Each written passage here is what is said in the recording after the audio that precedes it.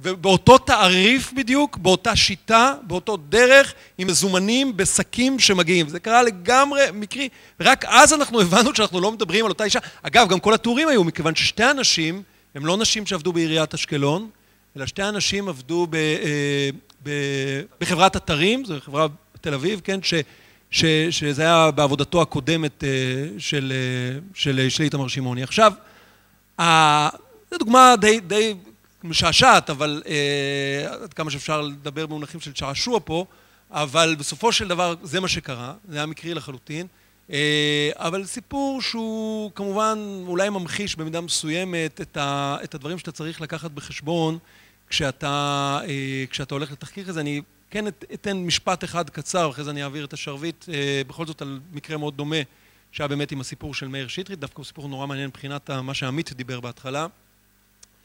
האמת היא שהסיפור היה לנו, את הסיפור הזה התחיל לגלגל בהתחלה שוב ברמזים מאוד מאוד אה, כלליים, דורון הרמן שסיפר על איזשהו הסכם, אה, ש...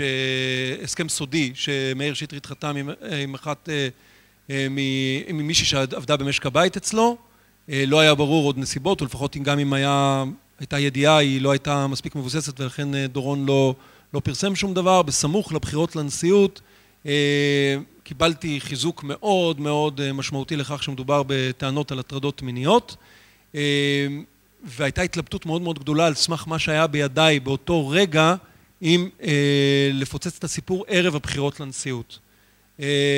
בסופו של דבר ההחלטה של ההנהלה, ההחלטה שאני קיבלתי אותה והרכנתי את ראשי, אני לא אומר את זה באיזושהי אפילו רמז של ביקורת, אני בהחלט יכול להבין אותה, הייתה החלטה שמבוססת על שאלה של האם יש לנו מספיק אנחנו יכולים להעמיד פה, כמובן הכל דרך איומים היסטריים אה, של אה, עורכי דין גם מצידו של מאיר שטרית וגם מצידו של רעייתו של מאיר שטרית, עורכי דין אה, בכירים ביותר שיושבים עליך, אנחנו החלטנו לא לפרסם את זה ערב הבחירות לנשיאות. ואני אומר לכם את האמת, משהו שבדרך כלל לעיתונאי הוא לא אמור כל כך לומר את זה, אבל אני מודה שביום של הבחירות של הנשיאות, שהיה את נקודת הזמן שעמית חווה אותה היטב בכנסת, שמאיר שטרית הלך להיבחר, ובאמת זה לא שיש לי איזושהי עמדה כלפי מי צריך להיבחר, אבל התחושה היא, התחושה קצת צוותה, שאם אתה, היה לך את השנייה הזאת שהיית צריך... אז פה בנקודה הזאת אני חייבת להפסיק אותך, כי פה כן. אני נכנסת לתמונה. אה, אוקיי. מפני שכשאני שמעתי את עמית אה, עומד אה, ומפרשן ואומר שמאיר שטרית אמור להיבחר, זאת אומרת, הוא כמעט בטוח ייבחר, כי כל הקולות נוטים... ישבתי, זה סיפור אמיתי, ישבתי אצלי על ה... אה, שיש במטבח והרמתי טלפון לכמה שיותר חברי כנסת ושרים. אני חושבת שעמית אפילו יודע מזה, כי מישהו אמר לך, כי אתה אמרת משהו כזה, אבל לא חשוב. וסיפרתי את הסיפור האמיתי שאני יודעת על מאיר שטרית, ואמרתי להם, רבותיי, תאמינו לי, אני יודעת מה אני אומרת, ומי שבוחר במאיר שטרית, שיסתכן בזה שהכל יצא החוצה, ואנחנו נחזור לפרשה שאני לא רוצה להזכיר את שמה. אז זהו.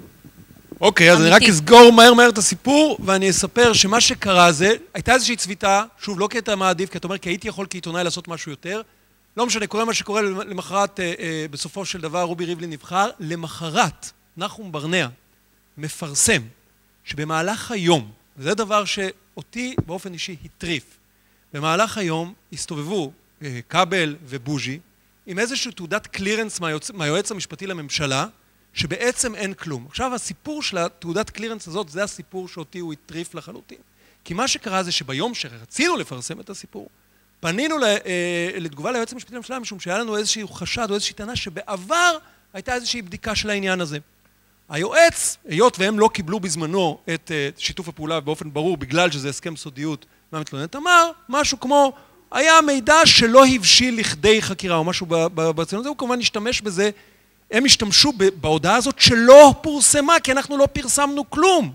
הודעה של היועץ שלא פורסמה, שהגיעה לידי בוז'י ואיתן כבל. הם השתמשו בזה כמעין, באיזשהו ספין, כאיזושהי תעודת קלירנס. והסיפור הוא, שזה דבר שהוא הטריף אותי באופן אישי, ששרת המשפטים באותה תקופה, ציפי לבני, קיבלה מידיו של היועץ המשפטי לממשלה, יהודה ויינשטיין, את הפנייה שלנו, שאנחנו לא עשינו בה שימוש עיתונאי, נתנה את זה, היא קיבלה את זה באופן אישי והיא העבירה את זה לטיפול תקשורתי כדי אה, לסייע למאיר שטרית אה, אה, בבחירה שלו שבעצם אין שום דבר ואין שום כלום. אני אמשיך בהמשך ישיר לסיפור על שמעוני שברוך התחיל והתייחס גם למה שאתה אמרת, עמית, בנוגע לאיומים ו... לתביעות שלאחר מכן, ואני יכול לספר היום דבר שלא, אני חושב שאולי כמה מעטים פה בקהל אולי מכירים ברמה של השיחה האישית, אבל לא סיפרתי אותו עד היום. זה התחיל באיום מצד איתמר שמעוני אחרי הפרסום הראשון על כך שהוא ישלח, שהוא מתכוון לתבוע אותנו על עצם הפרסום. זה היה כמובן איום בעיקר בשביל המקומונים שלא יפרסמו את הסיפור, אבל לאחר מכן זה המשיך והתגלגל, זה, זה היה שיחת טלפון שקיבלתי, שדרך מקורב, אני לא יודע אם זה נעשה באופן ישיר על ידי שמעוני או בצורה עקיפית, כדי להעביר לי מסר, מסרים, וזה הסתיים בלא פחות ממכתב שקיבלתי הביתה, מכתב רשמי, שבו רצו להעביר לי את המסר שיודעים בדיוק איפה אני גר וכמה ילדים יש לי, והכל כדי לעורר איזשהו חשד, כדי שלא לא נמשיך בזה, שנעצור. מבחינתם היה מספיק הבדיקה שנעשתה עד עכשיו, וכאן הגיע הזמן שלך לעצור. ואם תמשיך הלאה, אז אתה עלול לשלם על זה. אנחנו כמובן לא עצרנו. אבל משפט אחד על מה שקורה ברשויות המקומיות. אני חושב שיש פה משהו שהשתנה בשנים האחרונות, נדמה לי שבחמש-שש שנים האחרונות, עד לפני עשור היו מקומונים מאוד מאוד חזקים שפשוט נעלמו מהמפה, כי כולם היום למעשה מתקיימים מהכסף של הרשויות המקומיות, לפחות רובם הגדול, וכאן אנחנו נכנסים לתמונה, ועם הכניסה שלנו לתמונה, הכתבים האזוריים שמסקרים את הפריפריה, אז גם מתחיל להיות מופעל לחץ מאוד כבד עלינו ככתבים אזוריים, שלא להתעסק בנושאים האלה. אני לא מדבר רק על הפרשה של שמעוני, גם פרשות שטיפלתי בהן לאחר מכן, כמו מועצת מרחבים ועוד מועצות בדרום שקצת פחות זכו לסיקור תקשורתי בגלל המיקום שלהם, אבל בשורה התחתונה, הכוח שלנו התעצם, ואיתו גם לחצים מאוד מאוד משמעותיים, שלא לא נשתמש בכוח הזה. אני אספר איזשהו סיפור, עמית ביקש לתת איזושהי דוגמה לאיזשהו תחקיר, אבל אני אתן איזושהי דוגמה שהיא גם קצת צבעונית וגם קצת מצחיקה ומשעשעת, אבל בסופה אני רוצה להגיע לאיזושהי מילה, לאיזשהו נושא קצת יותר מטריד, והוא משטרת ישראל, ואני שמח שהדס גם יושבת כאן איתנו בפאנל. כולכם מכירים ודאי את פרשת הולילנד שהתפוצצה ברעש גדול מתי שהתפוצצה. חמש שנים לפני שהפרשה הזו התפוצצה, אני התחלתי לתחקר אותה כעיתונאי, אז בחדשות ערוץ 2, אחר כך גם בעובדה, עברתי לעובדה, וגם כשחזרתי לחדשות ערוץ 2, המשכתי את התחקיר על פרשת הולילנד. בעצם הסיפור הגיע אליי מאיזשהו גורם שנמצא בתוך הממשלה, שסיפר לי איזשהו סיפור שמאוד הפתיע אותי על שר שאיים לפטר אותו בגלל ההתנגדות המקצועית שלו לתוכנית הולילנד, לפרויקט הולילנד בוועדה המחוזית לתכנון ובנייה, אז אני מדבר איתכם על שלבים מאוד מוקדמים של הפרויקט הזה. עכשיו, אני כירושלמי שעובר שם אחת לכמה כמה פעמים בשבוע או בחודש ליד הפרויקט הזה, היה ברור לי שמה שהולך וצומח שם, צומח שם הוא משהו חריג, לא רק בגודלו, אלא כנראה גם במאפיינים נוספים שקשורים בו. וזו סתם תחושה אישית ש, ש, שכאמור הצטרפו אליה גם כל מיני עדויות נוספות, גרמה לי להיכנס לחקירה.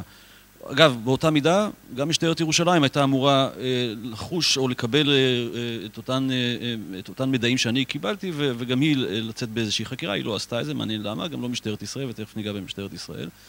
אה, וכך יצאתי לדרך באיזושהי חקירה שנמשכה בסביבות בין 4 ל-5 שנים, חקירה שאולי השקעתי בה הכי הרבה אנרגיות, משאבים, אה, אחת לכמה שבועות הייתי נכנס למאגרים ממוחשבים, משלם כסף לשרת התשלומים הממשלתי כדי לקבל מידע בתשלום, הרבה מאוד כסף, הרבה מאוד אנרגיה, המון פגישות עם אנשים, המון הקלטות ושום דבר, שום אקדח מעשן של ממש שלא שעשיתי בו שימוש או שהגיע לידיי. במסגרת המאמצים שלי להגיע לאנשים שיודעים דברים, והיו אנשים שידעו דברים, הגעתי גם למהנדס עיריית ירושלים, זה שקדם לאורי שטרית שהורשע בפרשה. וביקשתי ממנו לקבל ממנו אינפורמציה מה הוא יודע על פרשת הולילנד, על מה שאז, עוד לפני שהיה פרשת הולילנד, מה הוא יודע על פרויקט הולילנד והוא סירב לדבר איתי, הוא סירב לדבר איתי באופן מאוד בוטה, טרק לי טלפונים פעמיים ואז החלטתי שאני מגיע אליו הביתה. בבאללה כמו שאומרים, נראה מה יהיה. והוא גר בשכונת גילו בירושלים, הגעתי לשם בשעת ערב וצעדתי לכיוון הבית שלו ואז מהחלון של המטבח אני רואה שהאיש לבוש בטרנינג עם איזה מימייה שתלויה לו על הצוואר, כפי הנראה הוא גם מתכוון לצאת לאיזושהי הליכת ערב ואז לא יודע איך קיבלתי את ההחלטה הזו, החלטתי לנסות לחשב באיזה מסלול הוא ילך את צעדת הערב שלו, להעמיד את המכונית כמה שיותר רחוק מהבית שלו ולחכות שהוא יגיע. בינתיים הוצאתי את הגלגל הרזרבי, הוצאתי את הווסט הצהוב ש, שיש בתא הכפפות, התלבשתי ובעצם למעשה ביימתי, ביימתי, זה מתחקיר אחר, נכון, ביימתי פאנצ'ר. ובאמת כעבור כמה דקות האיש מגיע בצעדה, מתנשף מולי, ואז אני אומר לו, סליחה אדוני, אתה יודע איפה יש פה פאנצ'ר מאכר באזור? אנחנו פותחים שיחה, הוא אומר לי שבשעה כזו, בשעת ערב, אין שום פאנצ'ר מאכר, הוא שואל אותי על הביטוח שיש לי וכן הלאה, אנחנו מתחילים לדבר, ואז אני אומר, רגע, אתה לא, אתה לא אורי, שמו היה אורי, שכחתי את שמו, אורי בן אשר. אורי בן אשר, מהנדס עיריית ירושלים לשעבר, אומר לי, כן, אמרתי לו, איזה קטע, אני חיים ריבלין מעובדה, דיברנו בדיוק לפני שבוע. מהון להון האיש מתחיל לדבר איתי, ואז הוא מספר לי את כל הסיפורים שרציתי לשמוע ממנו בטלפון והוא, לא, והוא סירב לספר לי, הוא סיפר לי איך אולמרט ולופליאנסקי בעצם קיבלו החלטות מעל הראש שלו, שהיה מהנדס העיר, מעל כל הפקידות המקצועית וכן הלאה, את כל הדברים שלימים ידענו והם אחר כך התאספו לכדי ראיות אה, בכתב האישום ואחר כך גם בבית המשפט. אה, היה לי את המידע הזה, היו לי הרבה, הייתה לי אינפורמציה נוספת, אני זוכר שאילנה דיין יצאה לאיזושהי פגישה עם מקום וחזרה מהפגישה עם איזשהו דף שבו היא שרבטה כמה שמות שעד אז באותו שלב לא היו ידועים לי, כמו שמואל דכנר, אה, כמו אה, איתן רבין, כמו כל אותם גיבורי פרשת הולנד על, על פני הדף, אה, מאיר רבין, סליחה, וכן הלאה. ו... זאת אומרת, היה לנו המון המון מידע, המון המון קצוות של חוטים, אבל היינו, לא, לא הצלחנו להבקיע את הסיפור הזה.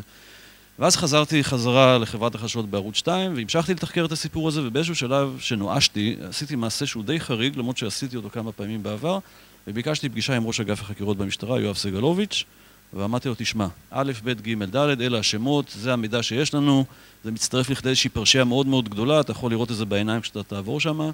אז הוא אמר לי משפט שאני לא אשכח אותו עד היום, הוא אמר לי, זה אגדה אורבנית. אגדה אורבנית, ואז הוא אומר לי, אתה גם כתב רווחה, נכון? בוא נדבר על פרויקטים חברתיים של משטרה וקהילה ודברים מהסוג הזה, ובעצם הוא נופף אותי מהמשרד שלו, וככה הסתיימה פרשת הולילנד אה, אל משטרת ישראל. כעבור כמה חודשים הגיע עד המדינה המפורסם, ומכאן השאר הוא היסטוריה. ואני רוצה לתת עוד שתי דוגמאות של מפגשים עם המשטרה, ובזה אני אגיע לפואנטה. כשחקרתי פעם אחת אה, פרשייה שקשורה בעיריית אה, לוד, ראש העירייה הקודם, שאת שכחתי, נכון, בני רגב, אה, באיזשהו שלב אה, היו המון מדעים, וכאמור, אה, הייתי די בשל לפרסום, אבל היו כמה דברים שהיו חסרים לשם, הייתה חסרה לי אינפורמציה, וידעתי שבמקביל משטרת ישראל גם היא חוקרת את הפרשה הזו, וביקשתי פגישה עם ראש היחידה הארצית לחקירות עונה, והוא הסכים להיפגש איתי. ובאיזשהו שלב של שיחה ששאלתי אותו מה ידוע לכם על הנקודה הזו, הוא כמובן לא שיתף אותי בדברים שהוא חשב שהוא לא צריך לשתף אותי, הוא הצביע על השולחן שלו, הייתה ערימה כזו גבוהה של תיקים, והוא אמר לי, אתה רואה את הערימה הזו, אני מסוגל להגיע רק ל-20-30 סנטימטר במעלה הערימה. זאת אומרת, אין לי יכולת, אין לי כוח אדם, אני חייב לתעדף את הנושאים הללו, וכל שורת הנושאים שאתה עכשיו מביא לנו מעיריית לוד או ממקומות אחרים, אנחנו שמענו עליהם, אנחנו יודעים עליהם, חלקם היינו מאוד שמחים לברר אותם, אבל אין לנו את היכולת לעשות את זה. וסיפור שלישי ואחרון, אני אספר על אה, בת ים כדי לא לפספס פה אף אה, רשות אה, מקומית, לא לקפח אף רשות מקומית. עשיתי תחקיר בתוכנית עובדה עם אילנה דיין על שלומי לחיאני, קראו לזה החברים של שלומי, הוא בעצם פירט את כל שורת הפרשיות שלימים כאמור הפכו לכתב, לכתב אישום. אה, בסוף התחקיר מתקשרת אליי אה, זיווה אגמי כהן, שאז הייתה ראש זרוע בלהב 433, אומרת לי, יו, המרואיין הזה שראיינתם בהצללה, מי הוא? איך אנחנו יכולים להגיע אליו? אנחנו ממש היינו שמחים לשמוע את הדברים שהוא אמר לכם, גם שייתן לנו איזה בעדות. עכשיו, שתבינו, משטרת, ירוש... משטרת ישראל, להב 433, הזרוע של זיווה אגמי כהן, הייתה בבת ים שנתיים לפני שאנחנו בכלל נכנסנו לשם. רכזי מודיעין שרצו שם, אספו מידע, ראיינו אנשים, תחקרו אנשים. ביצעו כל מיני פעולות חקירה, ועדיין לא היו בשלים לתחקיר, אה, כן, לצאת, סליחה, בחקירה גלויה, הם היו זקוקים למרואיין הזה שהיה בתוכנית עובדה, שאנחנו הצלחנו לדוג אותו בלי שום בעיה. ואני רוצה לומר, וזו השורה התחתונה, אני חושב שיותר מדי פרשיות נחשפו בשנים האחרונות בגלל התקשורת, אה, אה, למרות שמשטרת ישראל זה נכון שכמה שיותר טוב, ואנחנו שוכחים את הצד השני של המשוואה. משטרת ישראל לא קיימת, למיטב הבנתי, אה, בצורה שבה אני חושב שהיא צריכה להיות קיימת, ודאי לנוכח המקרים שאנחנו יודעים ש, ש, ש, שקיימים ועדיין לא התגלו, ודאי לנוכח המקרים שאנחנו יודעים שהתגלו. אה, משטרת ישראל חלשה, משטרת ישראל מוחלשת, היא לא חלשה, היא מוחלשת, יש כוונת, בכוונת מכוון היא מוחלשת, היחידות החוקרות לא מצליחות לעמוד בעומס המשימות הבלתי אפשרי. אה, אם התקשורת היא חבולה עמוקה ומסורסת, אז, אז גם משטרת ישראל היא כזו, ואני חושב שכמו שכולנו ודאי אה, שמחים כל פעם לצאת מחדש בקריאה שצריכים תקשורת חזקה, אני חושב שגם צריך משטרת ישראל חזקה, כי למיטב הבנתי ושיפוטי היא לא כזו. טוב, אני פה נכנסת כי אה, א', חיים ריבלין צודק בכל מה שהוא אומר, ואני אוכל לומר ולהוסיף שבעצם רוב הפרשות הכי גדולות, הכי חשובות, שהיו אה, בשנים האחרונות וטופלו על ידי להב 433 הגיעו מאנשי התקשורת. כמעט מכל אחד ואחד שיושב פה ואחרים שאינם יושבים פה, כי אה, אנחנו בכוחותינו הדלים אה, מסוגלים, מסתבר, לעשות הרבה יותר מהחוקרים שהם גם, לא מאשימה אותם, קודם מבחינת כוח אדם ואחר כך בהיבט שהם כל כך אה, נעולים בתוך קופסת החוק שהם לא יחשבו על לעשות דברים אחרים או קצת אחרת ו, ויש את הבעיות האחרות כמו ויינשטיין קודם ואחרים ופה אני רוצה לומר עוד משהו, ש, שהוא לדעתי הדבר שכולנו נאלצים להתמודד איתו, לא רק האיומים החוזרים ונשנים של אה, תביעות לשון הרע, אנחנו מקבלים כמויות, כמעט כל תחקיר שלנו או כל סיפור, יש לנו רשימה של, אה, אה, אה, אנחנו מקבלים איומים מעורכי דין כאלה ואחרים, בקצב הזה אנחנו לא נוציא שום דבר, לעיתים אה, אה, לא מעטות זה גם מסרס לנו את הסיפור עצמו כי אנחנו באמת הולכים בין השורות ואז יש גם כאלה שמחליטים שיש בזה כדי לתבוע תביעת לשון הרע. אנחנו מתמודדים גם עם דוברים שאינם דוברי אמת וזאת אחת הבעיות הלא קטנות. אני דווקא אקח אתכם למקום אחר, לסיפור אחר, מתחום אחר, לא רוצה להיכנס לרשויות המקומיות, אה, שעל פה יש לי, מי שיודע אז הוא יודע, עשיתי ואני עושה הרבה מאוד, מתחום שירות בתי הסוהר. סיפור שקרה והוא מלמד על הכל. הסיפור היה שאסיר טלפן אליי אה, באחד הימים וסיפר לי שבשירות בתי הסוהר מתנכלים לו, מתנפלים עליו, אה, שמים אותו בבידוד ובמשך שנה שלמה הוא לא יוצא לעבוד כמדובב במשטרת ישראל. האיש הזה היה אחד המדובבים הכי טובים שמשטרת ישראל השתמשה בו והוא נידון למאסר עולם בגין רצח. רוצח, מטבע הדברים רוצח אז אפשר לזלזל בו ולא להתייחס אליו ובאחד הימים הוא עבד גם הרבה מאוד עם השב"כ באחד הימים הוא קיבל מידע שעומד להיות פיגוע בשווארמה תל אביב זוכרים את הסיפור? אה, והוא נתן את המידע לאנשי המודיעין בשירות בתי הסוהר, אבל משום מה לא ממש התייחסו למידע הזה, קברו אותו, וכעבור זמן באמת אירע הפיגוע ונהרגו בו לדעתי 11 בני אדם. כשהוא סיפר לי את זה, נת, נטיתי אה, לה, להאמין לו. ולמה? משום שהוא סיפר לי ששנה שלמה התנכלו לו, התנפלו עליו, אה, שמו אותו בבידוד ועוד ועוד. ואמרתי, מי ששנה שלמה מתנכלים לו ומתעללים בו, מן הסתם, לא סתם נלחם על חפותו ועל האמת שלו. ואז אני מצלצלת לדוברת שירות בתי הסוהר, שאומרת לי, להדם לא היה ולא נברא, האיש הזה רוצח, תעזבי קשקשן. טוב, אמ, אני, הוא חוזר אליי, הוא מטלפן אליי, אסירים אגב עושים דרכם אל כולנו באופן יומיומי, ואני אומרת לו מה אומרים, ואז הוא אומר לי, מוסיף עוד פרט, ואני שוב חוזרת לאותה דוברת, והיא אומרת לי, שקר וכזב לא היו דברים מעולם. אני בכל זאת מחליטה לקצר, אני בכל זאת מחליטה לפרסם את זה למחרת, כי משהו בבטן שלי אמר, האיש צודק. פרסמתי את זה בבוקר, זה היה יום ראשון, המדינה התהפכה, איך קרה, איך קרה. אה, נציב שירות בתי הסוהר אז מינה את מבקר, מבקר שירות בתי הסוהר לבדוק את העניין. מונה המבקר בחמש אחר הצהריים בעודי עומדת להיכנס לערב חדש, המבקר מוציא הודעה באמצעות הדוברת להדם ברווז עיתונאי לא היו דברים מעולם. רבותיי, זה קטע קשה לעיתונאי להתמודד איתו, אבל היה לי עוד אס שלא פרסמתי אותו. ידעתי שיש קלטת סודית שנמצאת באיזשהו מקום ואמורה אה, אה, להגיע אליי. למחרת, כמובן, אף אחד מהעיתונאים לא עשה יותר פולו-אפ על זה, ברווז עיתונאי, אין מה לחזור וכולי וכולי, אבל אה, אני החלטתי שאני ממשיכה לבדוק את הסיפור. שאלתי את אותו אה, מדובב, אצל מי דובבת בפעם האחרונה? אז הוא אמר לי, במחוז מרכז במשטרה, בימ"ר.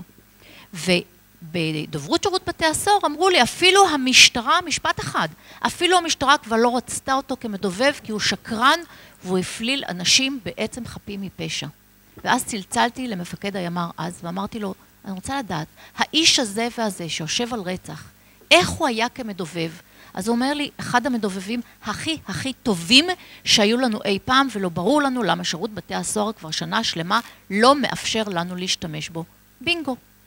צלצלתי לאחד ההורים, ואמרתי לו, תקשיב, זה הסיפור. בינתיים הם, ההורים אה, השכולים, פנו לדיכטר, שהיה אז אה, תושב אשקלון, היה אז השר לביטחון הפנים, ודרשו פגישה. יום שני, מכנס דיכטר פגישה עם נציב שירות בתי הסוהר, עם המבקר, עם היועץ המשפטי, עם ההורים, ואומר להם, רבותיי, הדס שטייף פרסמה ברווז עיתונאי. לא היו דברים מעולם, ואפילו המשטרה לא רצתה יותר לדבר עם האיש הזה כי הוא שקרן. ואז האב שציידתי אותו במידע קם ואומר שקר, אמר את מה שאמרתי לו, דיכטר עצר את הישיבה, הורה על הקמת ועדת בדיקה עם כמה גורמים. רבותיי, חמישה חודשים, חמישה חודשים הסיפור הזה נחקר על ידי הוועדה המיוחדת הזאת, ובסופו של דבר הסתבר כך.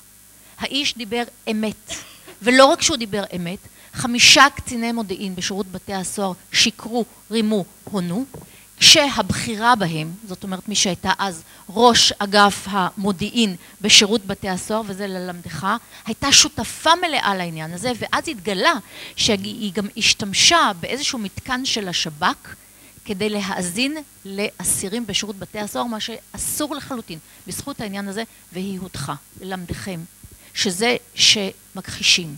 וזה שמנסים להטיל בנו רפש, וזה שמאיימים עלינו בתביעות לשון הרע השכם והערב, זה לא יעזור. אם אנחנו מאמינים בסיפור שלנו, ואם יש לנו מספיק את הראיות לכאורה אה, שמלמדות שהסיפור שלנו הוא יותר מאמת, אנחנו נפרסם.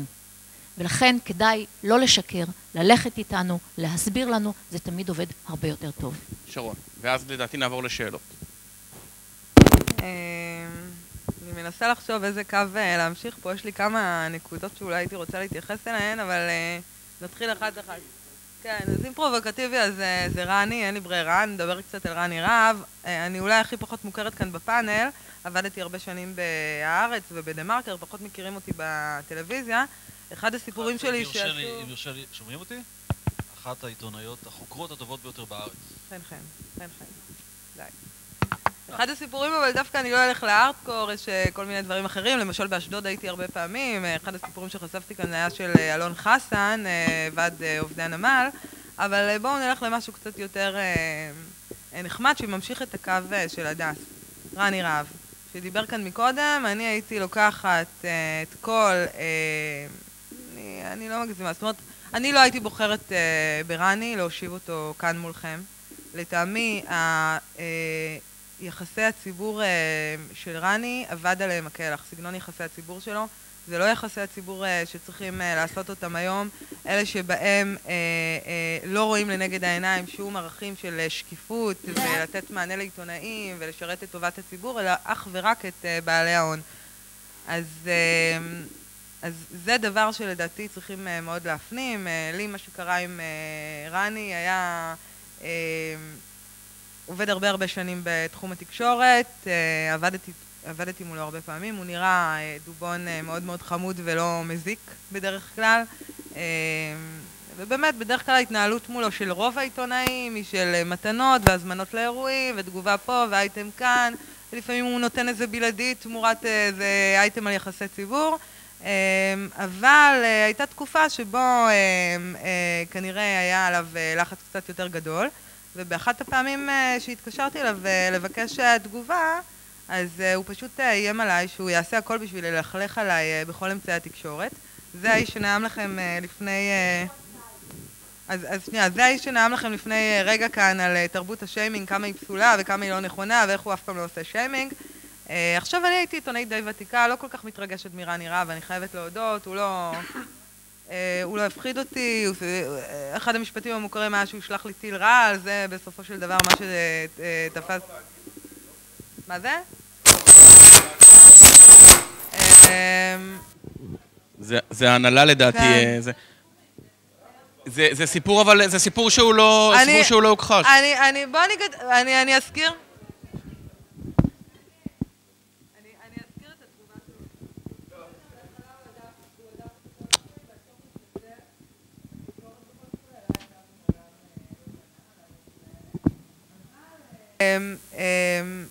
מה שאני עשיתי היה משהו שהוא לא שגרתי אגב אה, בתחום שלי, אני עבדתי על תחקיר על... אה, זאת אומרת, זה התחיל מהאיום הזה, שהיה על אייטם מסוים שרציתי לפרסם בעניינו של אה, נוחי דנקנר. נוחי דנקנר תכננו איזה דירקטור שעבד באחת החברות הציבוריות שלו, היה גם חבר או יו"ר ועד החי-בר, והוא רצה לשחרר נשר לשמיים בשם אה, נוחי דנקנר, לקרוא לנשר נוחי. אה, התוכנית הזאת לא יצאה לפועל בסופו של דבר, אה, ורני מאוד אה, נלחם נגד הפרסום של האייטם הזה, ואז הוא איים עליי, אבל אז לא הייתי מצוידת במכשיר הקלטה. הייתי מאוד מזועזעת מהאיום. לא לקחתי את זה. כן, כן, ציפור טרף, ציפור טרף קטנה לחשה לי. אז, אז הייתי מזועזעת מהדיבור שלו, לא כי נבהלתי ממנו, אלא כי לא האמנתי לעזות המצח הזאת, או לביטחון הכל כך גדול שהוא יכול לאיים ככה על עיתונאי, אה, אה, ולחשוב שהוא יכול לצאת מזה בשלום. והיה לי בראש לעשות אה, עם זה כתבה יום אחד, זה קצת התעכב, וכמובן גם לא הקלטתי, אבל שיתפתי יותר חברים. ואז יום אחד פרסמתי שוב סיפור בעניינו, הפעם זה היה על נוחי דנקנר ועל רני, אבל בפייסבוק שלי.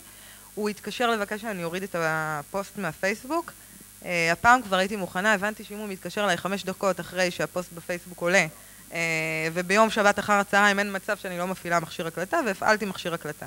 עכשיו הייתה לי את ההקלטה הזאת, נשאלת השאלה, אוקיי, ואז חוץ מזה התחלתי לעבוד על כתבה על רני רהב, לטעמי, הוא מעולם לא סוקרה uh, כמו שצריך עד אז בתקשורת.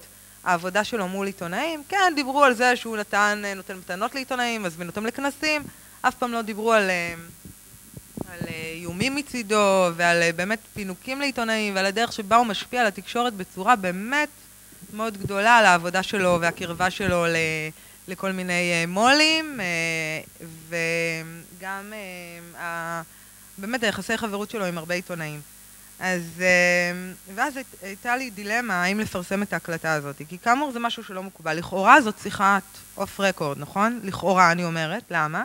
כי מבחינתי יש שני סוגים של אנשים שאני מדברת איתם. יש דוברים ואנשי יחסי ציבור, שכשאני מדבר, פונה אליהם והם לא אומרים לי, השיחה היא לא לציטוט ולא לייחוס, אז מבחינתי הדברים יכולים להיות מפורסמים. זאת אומרת, לא יכול להיות שאני מתקשרת אה, אה, לדבר על משהו פורמלי ולא אומרים לי לא לציטוט, לא לייחוס בהתחלה. אנשים פשוטים שאני אפנה אליהם מהרחוב, אני תמיד אבהיר להם את כללי המשחק לפני שאני אפרסם משהו שהם אומרים. אני תמיד אשאל אותם, אתה רוצה לציטוט, אתה רוצה לייחוס, אני אסביר להם מה ההבדלים אומרים. לא כך הוא מבחינתי ברני רהב. כל, את כל השיחה הוא ניהל מבחינתי כשהוא לא אומר לי אה, אה, לא לציטוט ולא לייחוס. והוא מאיים עליי תוך כדי. וכשהתחלתי לתחקר אה, בעניינו הרבה עיתונאים, שמעתי שיש סיפורים נוספים דומים, והחלטתי שכן, זה הזמן אה, אה, לפרסם את, ה, את השיחה, למרות... אה, למרות שני דברים, א', שזה לא מקובל בדרך כלל באמת אה, בענף הזה, ו, ושנית, גם בגלל החשש, הזהירו אותי הרבה, תשמעי, מקורות יפחדו לדבר איתך אם את מפרסמת uh, שיחה. אה, לקחתי את הסיכון הזה, אני חושבת שהוא היה סיכון מוצדק, אני חושבת שהמקורות שלי לא באמת חוששים לדבר איתי, המציאות כך הוכיחה. קיבלתי הרבה הערכה על הסיפור הזה. רני רהב הוא לא בן אדם שקל לצאת נגדו, בהתחלה זה עשה סערה מאוד מאוד גדולה, ואתם יודעים, כוחו כאיש יחסי ציבור אה, מאוד גדול, ככה שזה יכול להתהפך עליי בקלות. אה, אבל אני חושבת שזה עזר לחשוף את השיטה הזאת של יחסי הציבור, שכבר אין לה מקום בעולם שלנו. אוקיי. עכשיו, רגע, אני חייבת משהו... ממש ב-30 שניות. מה, משהו ב-30 שניות על אה, הרשויות המקומיות, שאני חושבת שגם ברשויות המקומיות יש מקום לעבודה גדולה על הקשר עם העיתונאים. אני חושבת שהעיתונאים לא עושים מספיק עבודה ברשויות המקומיות, אני חושבת שלכל רשות מקומית, אני בטוחה שאתם תסכימו איתי כאן, אבל בואו נשמע, כמעט לכל רשות מקומית יש הולילנד משלה. עוד רחוק היום שנחשוף את uh, כל ההולילנד שיש בכל רשות מקומית. אני יודעת שמאז שנחשף פרויקט הולילנד, השחיתות בפרויקט הולילנד, כמעט כל כתב תחקירים קיבל שיחות אין ספור מכל מיני מועצות מקומיות, תשמע, יש לנו פה הולילנד, חבל על הזמן. אה, נתניה, כן, זה היה בעוד הרבה מקומות, אבל אה, אה, מה שחשוב זה שהדוברים כן יעמדו, ב, יעבדו בשקיפות מול העיתונאי ולא ימסמסו אותו באמת, אלא ייתנו לו את כל הכלים בכדי לחשוף כמה שאפשר. כמובן, אני מבינה שגם אתם נתונים ללחצים מהצד השני. כן. שאלות, בבקשה. אנחנו ממש, ממש מעט זמן וזה היה מאוד מעניין, אבל בבקשה, כן. אבל שאלות, כן, לא... כן. להגיב, להגיב, אבל בקצרה, כן.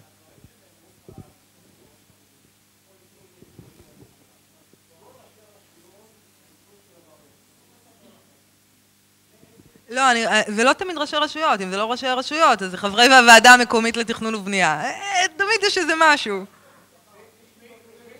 אני, אני לא מתכוונת לשפוך, אבל אני שואלת אותך באמת, האם יש עיר שאין בה סיפור של התנהלות בעייתית?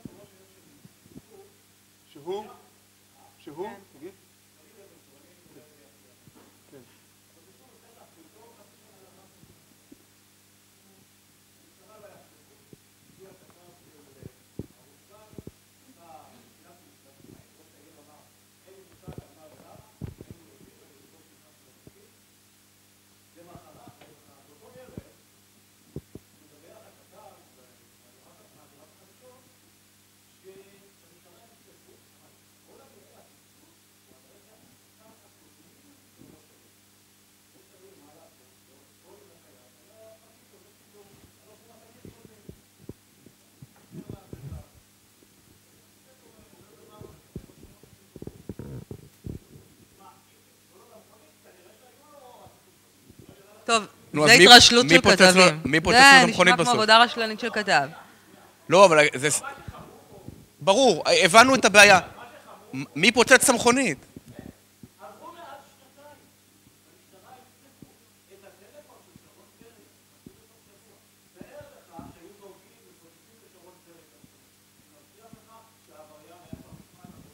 אני יכולה להוסיף לסיפור שלך עוד הרבה מאוד סיפורים כאלה, אבל לא, אנחנו לא דנים במשטרת ישראל.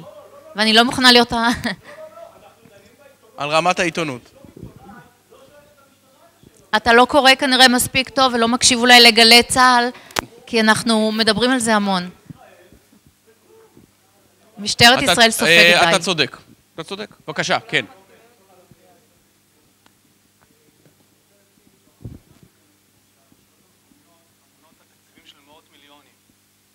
במקרה הטוב מאות מיליונים. רשויות מקומיות כפופות לחוקי המכרזים. ראשי רשויות כפופ... אה, נתונים ללחצים מצד יזמים שרוצים להגדיל את זכויות הבנייה שלהם, שרוצים לשנות ייעוד קרקע. ולכן, אה, כשמדובר באנשים, מה לעשות? יש לאנשים את החולשה. עכשיו, אם יחקרו את אותן רשויות, בטוח שימצאו משהו, אבל אני הייתי פונה אליכם כעיתונאים, ובואו נשאל את השאלה איך יכול להיות שהציבור מוכן לבחור את אותם ראשי רשויות פעם נוספת. אה, אני רק שמעתי היום שבעיריית אשקלון, אה, או בעיר אשקלון, חושבים, או בעיר אחרת, כמו בת ים, שהם מוכנים אולי לבחור את הראש הרש... ראש הרשות שסרח פעם נוספת כשהוא השתחרר מהכלא. אני, אני אגיד לך, אני, אענה, קצר, אני אענה קצר, קצרצר. אני כמובן לא יכול, חברים, אני לא יכול כמובן לתת את, ה, את האנתרופולוגיה, את ההסבר האנתרופולוגי לגבי העניין הזה, אבל, הסוציולוגי יותר נכון, אבל, אבל אני כן אגיד לך משהו אחד, יש איזשהו מוטיב שהוא שונה בשחיתות עירונית של רשויות ציבוריות משחיתויות באופן כללי, שהוא בדרך כלל, הוא מאוד מאוד מאפיין אותו, והאפיון הוא, ואתה רואה את זה בלחיאני, ואתה רואה את זה בפיירברג, ואתה רואה את זה בהרבה, בצבי בר, זה קלאסיקה, תיקח את שלושת ראשי הערים, מה מאפיין אותם? מאפיין אותם, הרי שחיתות זה מנגנון עוקף בירוקרטיה. הרבה מאוד מהראשים, ראשי הערים הכי מוצלחים, התקשורת שלהם, כן, ההתכתבות שלהם עם הבוחרים היא התכתבות מעולה, משום שהם עושים, הם בונים, הם מפתחים, הם מדלגים. זאת אומרת, מה שהבוחר רואה, כל עוד, אתה יודע, תשלומי הארנונה לא מופרזים, הכל בסדר, הכל במסגרת הסביר, העיר מתפתחת, ראשי הערים נהפכים להיות פופולריים, אבל מה שקורה מאחורי הקלעים זו שחיתות, שחיתות שעוקפת לכאורה את מנגנוני ועדות המכרזים, הבירוקרטיה וכולי וכולי וכולי, מפתחת את העיר כלפי, וזה הסיבה של הפער המאוד מאוד ברור בין הפופולריות של ראשי הערים לבין העובדה שהם יכולים להיות מאוד מאוד מושחתים. ואני אתן לך עוד דוגמה אחת. ראש העיר... זה לא מדויק. רק שנייה, אני רק אגיד משהו. ראש העיר הוא לא ראש הממשלה של העיר שלו, הוא המלך של העיר שלו. לא- הוא הוא לא השריף, הוא המלך, אני אגיד לכם למה. או אתם יודעים מה, אם אני רוצה להיות אה, פחות רדיקלי, הוא כמו נשיא ארה"ב. למה? כי בסופו של דבר, הוא ממנה את מחזיקי התיקים, הוא ממנה את הסגנים, הוא נבחר ישירות, דבר שהיה קיים במדינת ישראל רק פעמיים, או ש... אה, רק שלוש פעמים, ובוטל. זאת אומרת, הבחירה האישית בו הוא למעשה האדם היחיד, היחיד, שהישראלים בוחרים באופן ישיר. גם אם הצבעתם ליכוד, לא הצבעתם נתניהו. יכול להיות שאתם בעד uh, מספר 7. גם אם הצבעתם מחנה ציוני, לא בחרתם בקסניה סבטלובה, נכון? זה המצב. בעירייה זה אחרת, והמנגנון הזה שמרכז כל כך הרבה כוח ביד אחת גם מנציח את השלטון. זה לא מקרה שהדרך הכי טובה להיות ראש עיר, זה להיות ראש עיר קדנציה קודם. ובשלב, ובשלב מסוים, ואני חלילה לא אומר שום דבר לרמה הארצית, כשאתה הרבה מאוד שנים בשלטון, אז אתה קצת מתחיל להתבלבל ולחשוב שהעיר זה אתה. משפט אחד רק, הבוקר נכנסתי לבנק בעיריית אשקלון ועמדתי בתור, ואז ניגשה אליי מישהי ואמרה לי, בגללך העיר שלנו נתקעה כמה חודשים, נכון? אז אמרתי לה, לא בגללי, אולי בגלל הכתבה. אז היא אמרה לי, אמ, אל תדאג, הוא עוד ימשיך ויהיה פה עוד הרבה שנים על אפך ועל חמתך. עכשיו, אני חושב שאנשים לא יודעים לעשות את ההפרדה בין מה שקורה מעל פני הקרקע למה שקורה מתחת לפני הקרקע. אנשים נשארים עיוורים כי טוב להם עם מה שקורה. שמעוני במקרה הזה מצטייר כראש עיר טוב, יכול להיות שהוא באמת ראש עיר טוב, הוא שינה הרבה בתחום החינוך וכולי, ופשוט הם לא מסתכלים על כל מה שקורה מאחורי הקלעים, וזה גם לא מעניין אותם, הם די עיוורים לזה, וככה זה יישאר, לצערי הגדול, כי אני חושב שלאו אה, דווקא באשקלון, בכל עיר, אנשים צריכים להסתכל על מי שמייצג אותם ועל ההתנהגות שלו, כי בסופו של דבר זה הפנים של העיר. עוד משפט אחד, אה, אה, משהו, אתם טועים בנו, אתם חושבים, אתם חושבים, שנייה אחת, אתם חושבים שאנחנו באמת, אה, השיקולים שמנחים אותנו זה האם התחקיר יביא להחלפתו של ראש העיר כאן או לא. לא, זה לא מעניין אותנו. זאת אומרת, אנחנו, מעניין אותנו להביא את מה שאנחנו חושבים שהוא נכון, חשוב ומעניין למרקע, לעיתון, לרדיו, לכל מדיה שאנחנו מדברים עליה. אני, אני לא עושה את החישובים הקואליציוניים, אני לא עושה את החישובים של מה יבוא אחר כך, זה לא מעניין אותי. ואסור שעיתונאי יכניס את השיקולים הללו לסך השיקולים שהוא, שהוא, שהוא עוסק בהם לפני שהוא בא לפרסם את התחקיר. מעניין אותי אם יש פה סיפור, אם הצלחתי לאמת אותו, ואם יש בו חשיבות ציבורית, כן או לא. זה הכל. מה יהיה אחר כך זה לא ענייני. בבקשה, רק אני אוסיף במשפט. מילא אתם יכולים להגיד, זה דיון ששווה לנהל, האם ברמה הארצית... העובדה שרוב העיתונות לא קרואה על בנימין נתניהו, שיש עיתון אחד שבעדו, משפיע. זה דיון לגיטימי, חשוב, ויש הרבה מה להגיד עליו. אני לא בטוח שאלמוג, יש לו אג'נדה, אני די בטוח שלא, שראש העיר יהיה מסיעת אשקלון תצליח, ולא יחד אשקלון, או כל הסיעות האלה שקמות בכל עיר בהתאם לראש העיר. זה לא עובד ככה. זה לא... הלוואי שהיה אכפת לכולנו מהפריפריה ברמה שהיינו מושקעים במי יהיה ראש עיריית נס ציונה או, או קריית ים וכולי. והסיבה שלא מסקרים את הפיצוץ המכונית של, אה, של ראש העיר היא לא בגלל, אה, בוא נגיד ככה, היא... היא נוג... לא, היא נוגעת מהנרטיב שבין גדרה לחדרה, לא כולל גדרה וחדרה. כן, בבקשה, שאלה אה, אחרונה ואז מסיימים. אני מבני ברק, אברהם טננבום. אני חושב שיש פה קצת אה, טעות של כמה, אני עסקתי גם בארגון בחירות כמה קדנציות, אני יודע שהחוק אומר, תראה, אם ראש עיר הורשע על עבירת חניה אין איתו בעיה, אם הוא הורשע בפלילים, הוא ישב בכלא וזאת עבירה שיש עם הקלון, הוא לא יכול פשוט על פי חוק להיבחר לקדנציה נוספת, גם אם הציבור מאוד מחבב אותו, אין שום קשר לדברים. לא, יש קשר. יש, יש קשר. בבחירות האחרונות, בבחירות האחרונות ב-2000 ו... בבחירות ההמשך שלושה ראשי ערים שהורשעו בפלילים הוצגו לבחירת הציבור, נבחרו ברוב ממוצע של 80 אחוז. 80 אחוז. עכשיו זה דבר שהוא צריך להיות, הרי הדרך הכי קלה זה להגיד בסגנון אה, דות הניו יורק טיימס שהבוחרים מטומטמים אחרי הבחירות האחרונות, הבוחרים מטומטמים והם לא מבינים ו... אנחנו צריכים לחשוב לעומק, וזה דבר שהוא חשוב גם אם אתה לא שוטר או עיתונאי או, או לא יודע מה, או, או פרקליט, מה גורם לעובדה שהרשעה בפלילים נתפסת כמו, במקרה הרע, במקרה הטוב כמו אבק על החליפה שאפשר לנגב, במקרה הרע, רוב הציבור אומר, מבחינתי, אם הם רודפים אותו, זה משהו קדוש ואני צריך להצביע לו. זה חשבון הנפש האמיתי שאנחנו צריכים לעשות כולנו. זה, זה היה עוד יותר אבסורדי, משום שהם התמודדו, מתוך זה, הרי בג"ץ היה במצב בלתי אפשרי, הייתה עתירות לבג"ץ נגד ראשי הערים. והשופטים אמרו, תשמעו, אנחנו לא יכולים למנוע מאנשים להתמודד, זכות, זכות דמוקרטית, אנחנו כן יכולים לדון בשאלה וגם זה היה כמובן שנוי במחלוקת, והיה ויכוח בין השופטים, הנשיא נשאר בדעת מיעוט, נשיא בית המשפט העליון, האם הם יכולים לכהן, אוקיי? ובסופו של דבר באמת ההחלטה הייתה שהם יכולים להתמודד, אבל לא יכולים לכהן, ואז יש את חוק סער שהסדיר את העניין הזה, אני מקצר את הסיפור, ועד כדי כך אה, אה, התושבים היו להוטים לבחור בראש העיר, למרות שהם ידעו שככל הנראה ראשי הערים האלה לא יוכלו לכהן. וכך קרה שהם נבחרו, אבל בסופו של דבר לא כיהנו. גם לכנסת. גם בכנסת. ובנימה אופטימית זו, תודה רבה, והמשך יום נעים.